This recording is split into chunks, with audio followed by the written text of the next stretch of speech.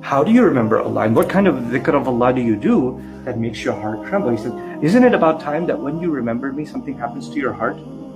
Is Allah's way of saying, so many of you are Muslim, you claim to be Muslim, you pray, you make du'as, you do all these things.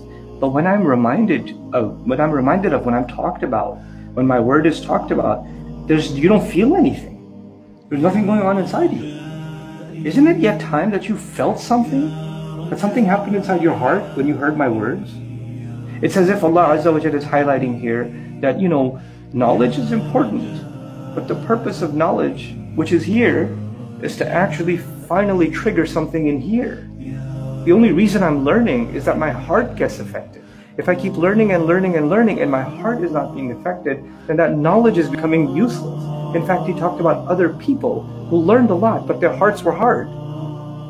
So learning my religion is only actually a means to an end. And that end, that ultimate end, is actually my heart should feel a tremble when I engage Allah's words, when I engage a reminder from Allah.